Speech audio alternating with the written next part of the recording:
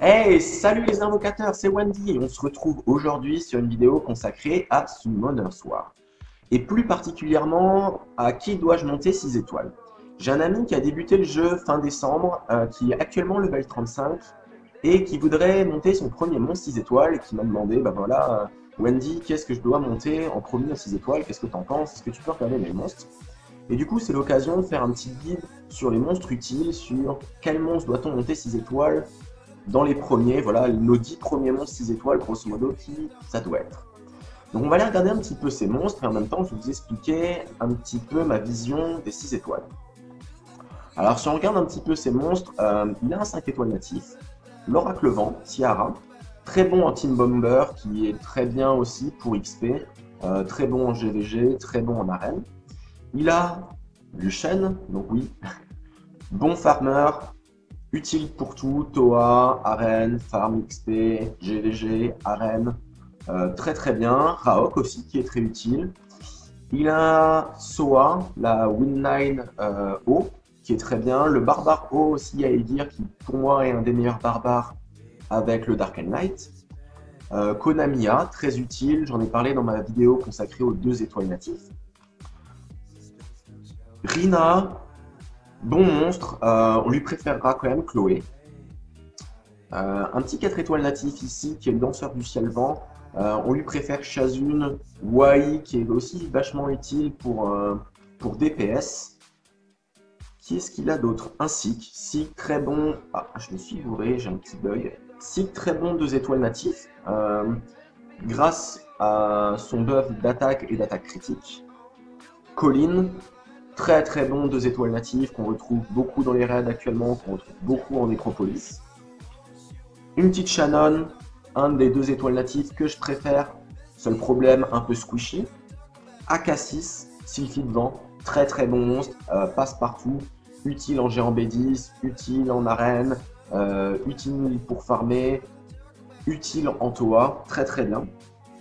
Un petit Dover, Dover Probable Bomber Light qui va très très bien justement combiné à sa, son oracle vent euh, pour faire un petit team bomber, très bien. Belladéon, qui pour moi est un des meilleurs supports du jeu, un des plus utiles, on retrouve quasiment partout. Et après, voilà, on va retomber sur des monstres qui sont pas trop trop montés actuellement. Alors pour moi, la réponse euh, concernant mon ami sur quel monstre doit-il monter en premier 6 étoiles, ma réponse c'est Luchen. Ah, vous allez me dire, ouais, c'est normal, Luchen, on en parle beaucoup. Ouais, mais Luchen, il a été beaucoup nerfé, il fait beaucoup moins de dégâts qu'avant.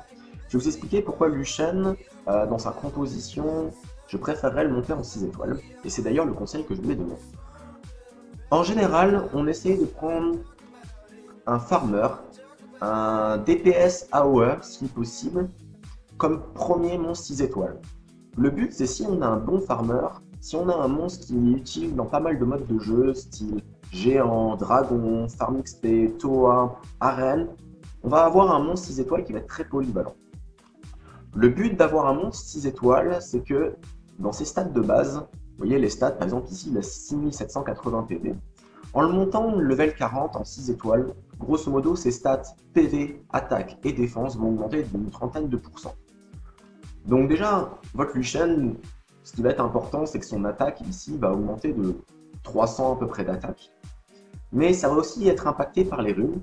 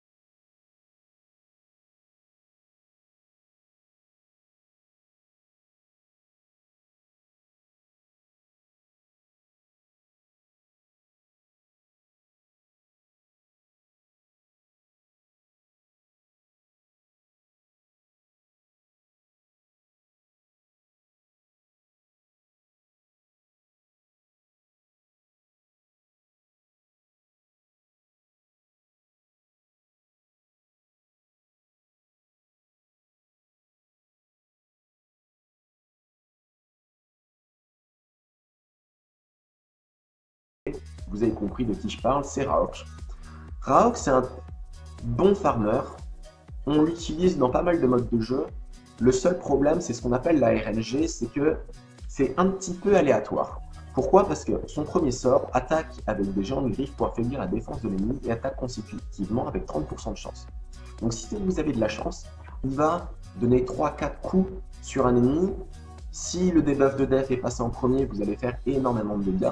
Forcément, faut le attaque, dégâts critiques, attaque, rage lame par exemple. Ça, c'est un build classique avec Rock, mais qui fonctionne très très bien attaque l'ennemi avec un autre allié, donc ça c'est toujours utile aussi pour farmer, et puis son passif qui est très bien, c'est obtenir un extra tour si tu tues l'ennemi. Donc forcément avec son sort 1, il va avoir grande chance de tuer un ennemi, donc de réattaquer. S'il utilise toujours son sort 1, il va pouvoir détruire les ennemis très rapidement sans que l'ennemi puisse jouer. Donc c'est un très bon farmer euh, pour pouvoir monter vos monstres en XP. On peut le builder euh, avec de la revenge aussi, c'est vraiment intéressant quand on cherche un farmer XP. Donc ça, c'est pour moi, c'est grosso modo, c'est les monstres qui sont classiques euh, à monter en premier 6 étoiles. C'est un farmer, si possible AOE, type Lucian, type Luchar, type euh, type Sat. Mais il y en a plein d'autres, donc à vous de regarder ce que vous avez sous le bras pour pouvoir l'utiliser. Le deuxième choix qu'on peut se faire, c'est si vous avez eu la chance d'avoir un 5 étoiles natif, en général, à 5 étoiles natives, c'est utile partout parce que ça a des très bonnes stats de base. Et puis, leurs sorts sont importants. L'avantage aussi d'un 5 étoiles natif, c'est souvent à skill up, c'est un peu moins compliqué. Alors, pas dans le sens où c'est facile à food d'autres 5 étoiles natifs pour pouvoir monter, mais dans le sens où en général ça n'a pas 17, 18, 19 skill up pour pouvoir être skill max. En général, un, 5 étoiles va avoir peut-être 10 skills maximum. Euh, il y a 10 skill up à faire, donc 10 Diablemon, et lui il est skill up max. Donc ça c'est aussi intéressant.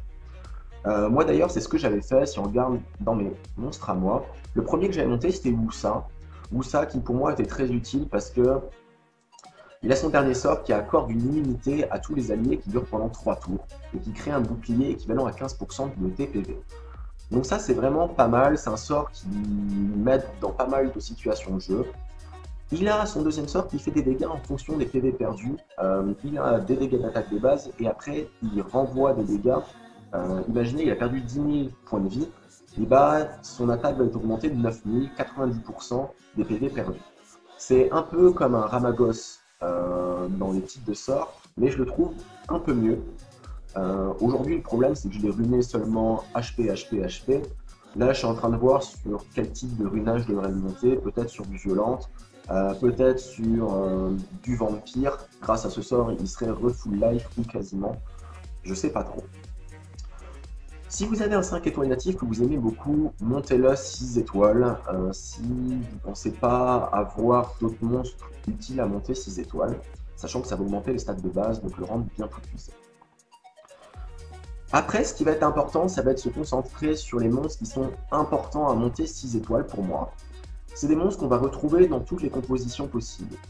En géant, en dragon, en nécro, en raid, en GVG, en arène attaque, en arène défense, en farm XP, voilà, en Toa. Si vous avez un monstre qui ressort dans la plupart de vos teams, très certainement c'est ce monstre-là qui va falloir monter 6 étoiles en prochain.